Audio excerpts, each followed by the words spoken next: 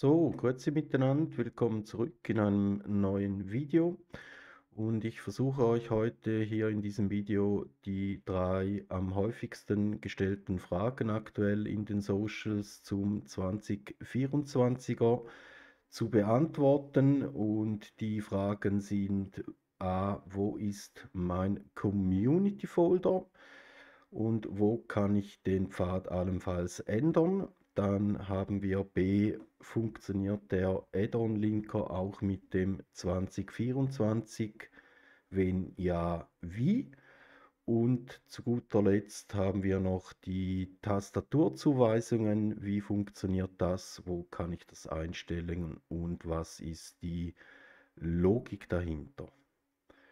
Gut, wir starten direkt zuerst mit dem äh, Community Folder und dazu geht ihr eigentlich hier auf den Marktplatz und dann hier oben auf meine Bibliothek. Und hier neben dem Suchfeld habt ihr so ein Zahnrädchen, da klickt ihr drauf und jetzt kommt hier eine Einstellungen hoch mit Lager, also hier die Übersetzung auch wieder grottiger geht's nicht. Und habt jetzt hier nicht die Möglichkeit, äh, euch den Pfad zu eurem Wunsch-Community-Folder äh, zu einzutragen. Standardmäßig liegt das irgendwie im Appdata Local Cache vom Benutzer drin, also wieder völlig verschachtelt irgendwo versteckt.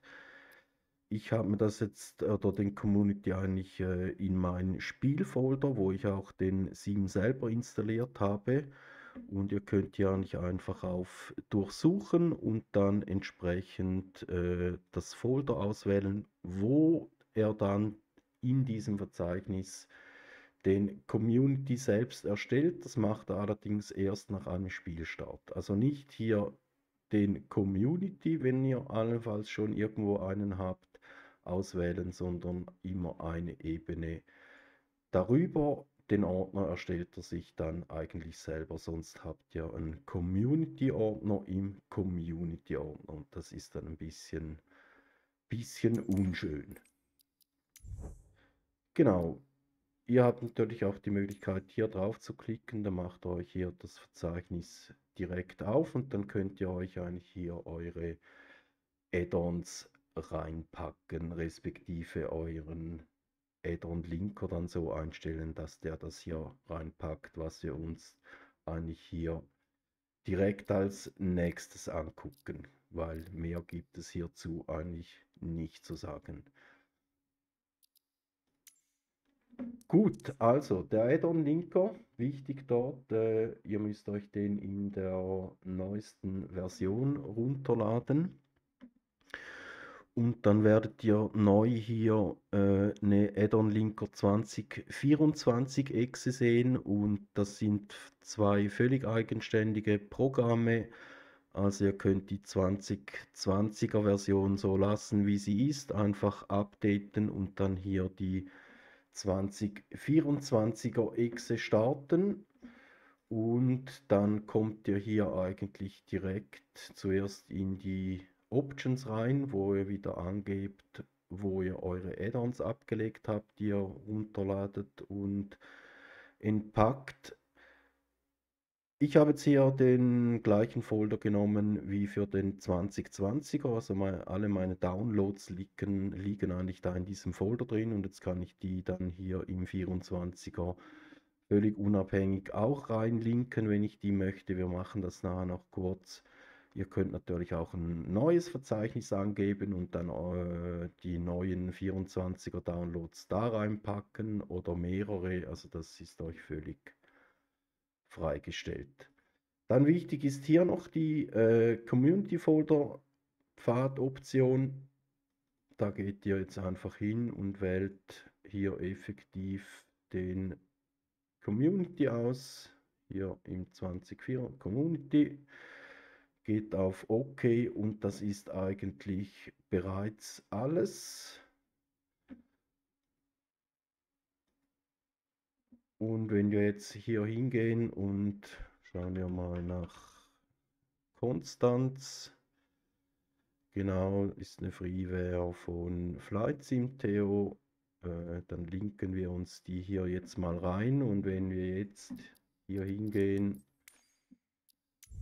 und in den Folder reinschauen, dann sehen wir hier haben wir jetzt den Flughafen drin. Also wirklich easy.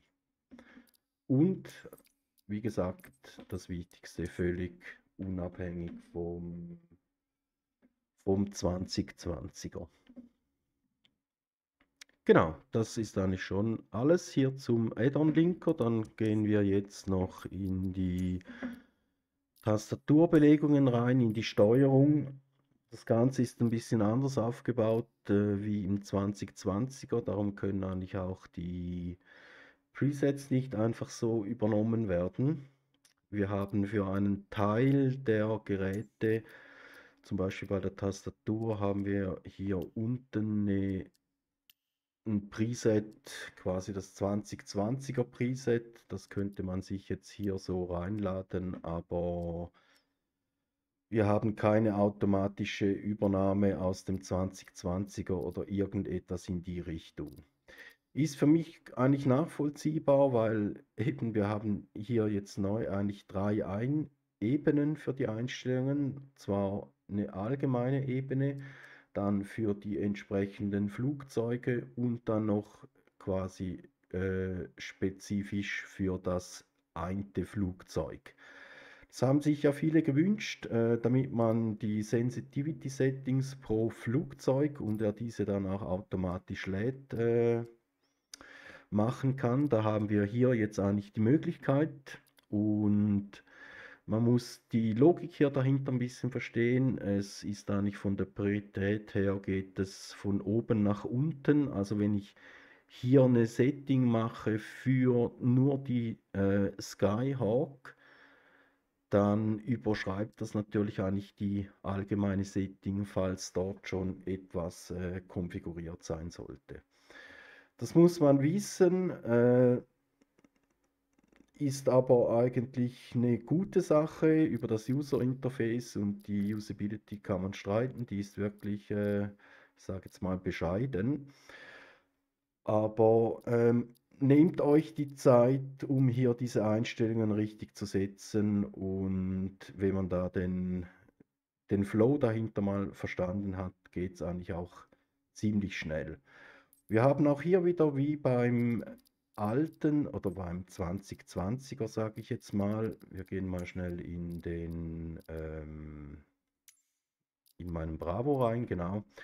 Wenn ihr dort etwas zuweisen wollt, zum Beispiel Gashebel jetzt, ja, wenn man es noch richtig schreiben würde, Genau, Gashebel. Wir haben jetzt hier die Achse Gashebel 1. Ihr klickt einfach in dieses Feld, wird gescannt, dann bewegt ihr die entsprechende Achse und er macht euch hier dann direkt diese Zuweisung.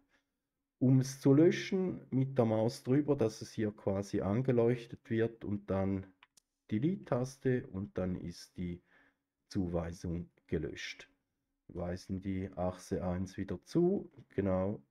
Und so funktioniert es eigentlich durchs Band durch.